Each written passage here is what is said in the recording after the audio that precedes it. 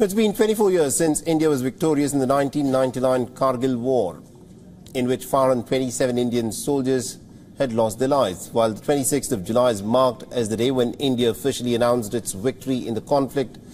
Commemoration services in Jammu and Kashmir cities of Kargil and Dras are currently underway.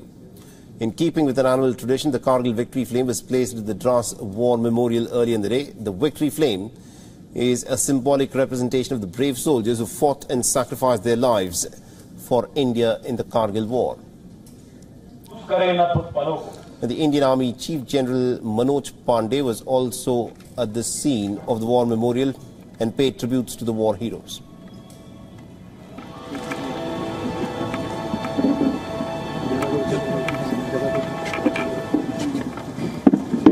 Amar Jawan Jyoti, Anant दिल में जलती जो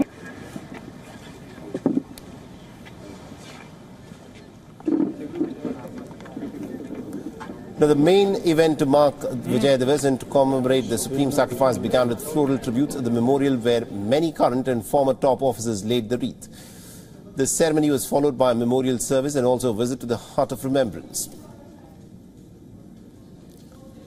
Now, the Indian Army will also be displaying the latest arms and ammunition acquired since the 1999 war. According to reports, India's Defence Minister Rajnath Singh is also expected to attend the main commemoration event on Tuesday. Now, earlier in the evening, a candle lighting ceremony was attended by the army chief and several war veterans. The family members of soldiers who died in the war were also present at the commemoration.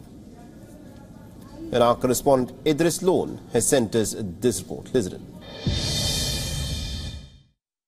To pay tribute to the soldiers who laid their lives during the Kargil war. We've also seen the families of the war veterans as well as those who laid their lives during the war were present today and paid their tribute to the soldiers as well. Since morning, there have been many programs held by the Indian Army in the Dras area, uh, like Lamochen, as well as uh, in uh, a cultural program where there was uh, a cultural program of the Ladakhi uh, young boys and girls paying tribute to the soldiers of the Indian Army.